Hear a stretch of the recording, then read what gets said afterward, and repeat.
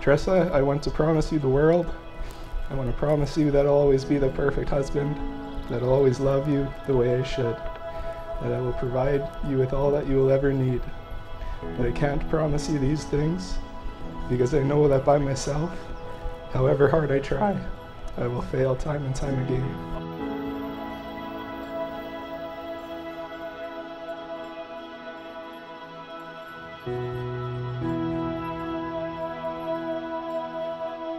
Jason, you see the world in a different way than most people do. It's with a set of eyes that is so focused on Christ, beyond the possessions that this world has to offer, and instead focused on the treasures that will be in heaven.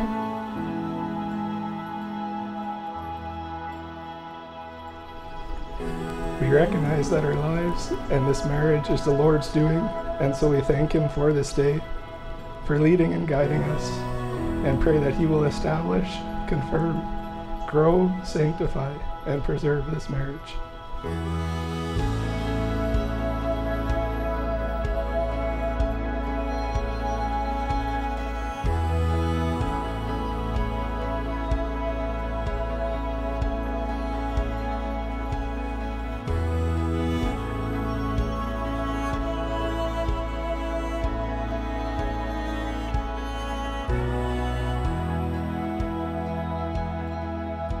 Your eyes are set on Him, on Jesus Christ, the maker and creator of this world. You see the reason He came to earth to serve and then to die on that cross, to save the lost and the broken. As I enter into this marriage with you, I come alongside you, now not only as your best friend, but as your wife. And because our lives in this marriage is the work of the Lord, so too is it entirely for His glory.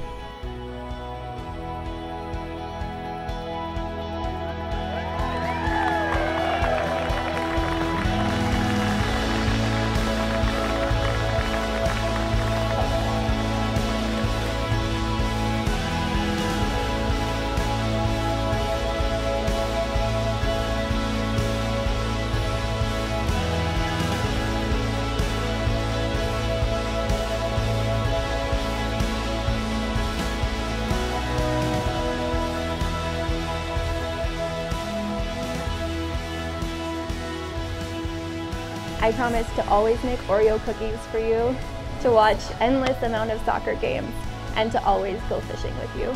I promise to cherish every moment with you until the day that Christ takes one of us home.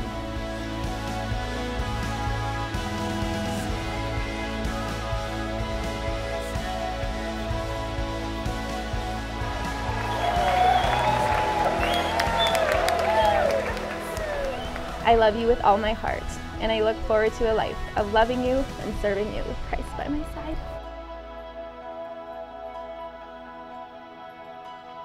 Today, as we put God first in all we do and surrender our lives to the Lordship of Jesus, I take you as my bride and offer myself to you as your husband, to listen to you, to be sensitive to you, to love you and to respect you, to be by your side, encouraging you on to the finish line passing you from my arms into the arms of Jesus.